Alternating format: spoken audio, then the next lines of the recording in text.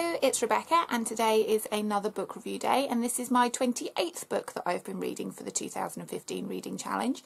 I will put a little link down below in the description box to explain what the challenge is about but basically it's to read 52 books over a year with each book coming from a different category. And the book that I have been reading this time comes from the category of a book based on a true story. And I have been reading Bill of Rights, and please excuse my pronunciation here, by Fred D'Aguiar. I do apologise if I've pronounced that incorrectly. There's too many vowels all in a row and I don't know how that's pronounced. But you can see his name here. Anyway, I will read you the blurb and then talk to you a bit about the book. Bill of Rights, a narrative poem, is a new work by the acclaimed poet and novelist Fred D'Aguiar. Dag Hmm. It tells the extraordinary story of the 1978 mass suicide in Jonestown, Guyana, from the point of view of a young man who has been seduced by the false rhetoric of the Reverend Jim Jones. In verse that mixes a gallimaufry of linguistic registers and moves through an exhilarating range of rhythms from the repetitions of biblical language to the riffs of pop popular music, D'Aguiar looks at the nature of religious zealotry and the suffering and stalwartness of one of its victims. So this is a bit of a different book that I've been reading this time. It's a poem. It's not a book of poetry, it's a continuous poem. I chose this after seeing a film called The Sacrament on Netflix a while back and it's about a religious cult that commits mass suicide. And I find things like that very disturbing, but also quite fascinating what makes people behave that way and do those kinds of things. And I just had a little look to see what it was inspired by and, and where the idea came from from that for that film. And it was inspired by the Jonestown massacre. And I didn't really know anything about that, so I just had, had a little read about it. And it is a very sad story about people who left their homes and left their families and went to a place called Jonestown. It's not a real place, it was just named that after the Reverend Jim Jones. And it was like a cultish commune where the Reverend was this supposed God or messenger of God or something. And after a reporter or a, a politician, I can't remember exactly, went to the camp. Reverend Jim Jones was frightened that it would all be torn apart and this, that and the other. And he encouraged his entire, I don't know what you'd call it, congregation, I don't know, to commit mass suicide. And it is such a sad, sad story. And watching this film, The Sacrament, it was just horrific watching parents give their babies this poisonous juice. It was, um, you know, a, a, juice mixture with cyanide and I don't know what else mixed into it.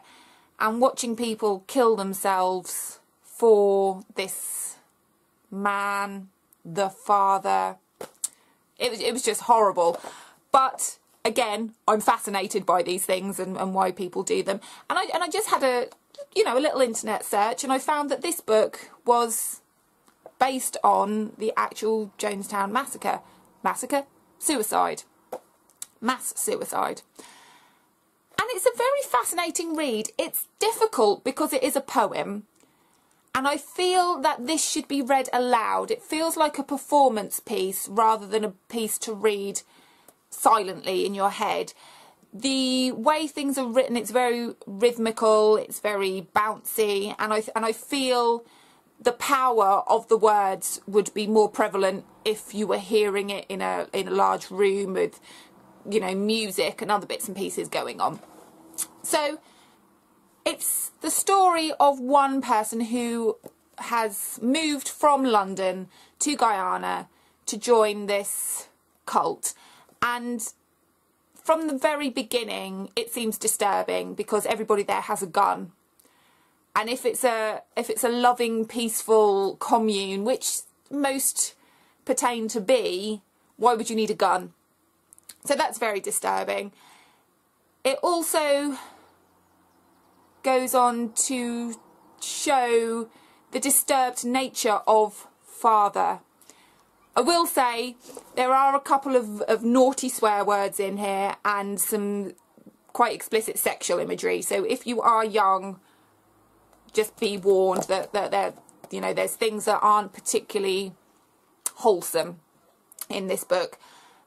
The thing that worried me the most, and I don't know whether or not this is actually true or whether or not it was just something that the author imagined to be true, but a man couldn't marry someone that he loved until father had had sex with them and made them pregnant.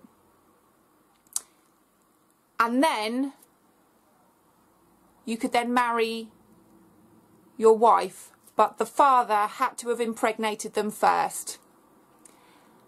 And the the the the voice of the poem doesn't have a name, but you can tell that he just doesn't fully understand why that's necessary. He it's almost as though he's blindly joined this cult and doesn't realize what he's got himself into. And not all of it is easily understandable straight away. As with a lot of poetry, there's a lot of symbolism, there's a lot of metaphor that you to fully understand you would have to kind of read it a few times.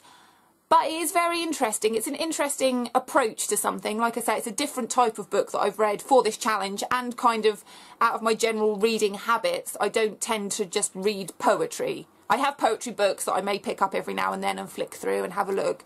But to read a poetry book from cover to cover is certainly different. But it does add an interesting approach to this very bizarre story. And obviously, as it goes on, it becomes more and more disturbing until they get to the point when the father, the all-loving father, tells everybody that they have to kill themselves and, and they'll be closer to God, so it will be fine. And they take this poisoned potion of, you know, juice, delicious tasting juice with poisons and cyanide and I don't know what else mixed in and it will be an easy death and it will be fine and don't worry and again, same with the film. Parents are giving this to their children. And I did have a look at some pictures of the actual aftermath of Jonestown. And it's it's sad. It is so, so sad and so disturbing. But, like I say, I'm interested in the human psyche and what makes people behave that way. I can't imagine ever doing it.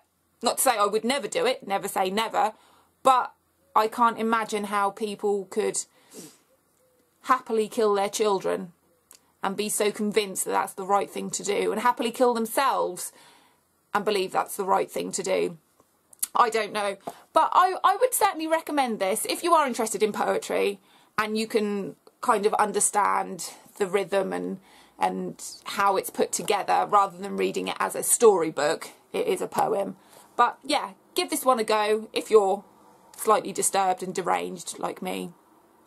Um, but yeah, quite a good read. Did enjoy this one. So if you're interested in any of my other book reviews, then please subscribe to my channel. I put new videos out every time I've read a book. And I occasionally give out writing advice and talk about my own writing and books and well, really anything to do with books, really. So if you're interested in reading and or writing, then please subscribe to my channel and I will see you soon. Have a good day. Bye-bye.